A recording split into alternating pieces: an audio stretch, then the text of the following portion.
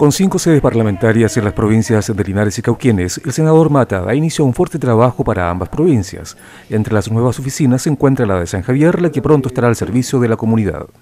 No cabe la menor duda, está instalada en una buena y concurrida calle de San Javier, como el Euterio Ramírez, y esta va a ser una casa de los ciudadanos de San Javier, un punto de encuentro. Lo hemos definido como puertas abiertas y aquí espero que puedan concurrir libremente todas las organizaciones sociales, cualquier persona de buena voluntad, cualquier ciudadano o ciudadana de San Javier. No hay aquí ninguna limitación. Con la habilitación de la nueva sede, el senador quiere dejar en claro que la provincia de Linares y particular San Javier es para él uno de los puntos importantes para desarrollar su labor parlamentaria. Yo tengo 11 comunas que representar, 9 de Linares, 3 de Cauquenes y efectivamente a mí paso habitualmente también por San Javier, rumbo a Cauquenio o viceversa, pero no soy simplemente un tema de pasar por pasar, ¿no? sino de pasar y quedarse aquí también a trabajar. Hay un compromiso, yo ya tengo virtualmente cinco oficinas parlamentarias abiertas en este momento. San Javier es una de las importantes que tendremos ¿no es cierto?, al servicio de la comunidad. Con un periodo más breve de trabajo de tan solo cuatro años, Mata espera sumarse a la labor de quienes están buscando mayores oportunidades para el Maule Sur.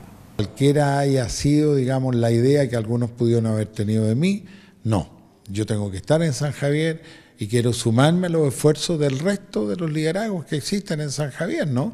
Partidos políticos, municipios, concejales, consejeros regionales, fin, yo vengo a hacer un aporte en equipo, no vengo a ser el mejor de los parlamentarios ni el único conductor de San Javier, muy por el contrario. Yo vengo a sumarme en un trabajo de equipo con los demás que ya están trabajando por San Javier.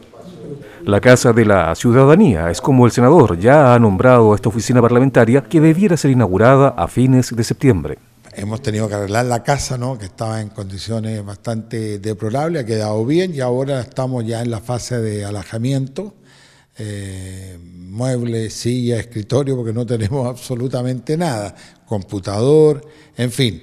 Yo creo que ya dentro de esta semana ya la tenemos básicamente con más que lo básico instalado y hacia fines de septiembre, pasadas las fiestas del 18, estamos ya encima, inaugurarla como Dios manda, ¿no? Con otra pie de cueca que sea la prolongación del 18. Hagamos un 18 chico aquí en el Euterio Ramírez. La recuperación de una tradicional casa de San Javier y la habilitación de un espacio abierto para toda la comunidad son algunas de las características de esta sede parlamentaria en la que el senador Mata trabajará por los próximos cuatro años.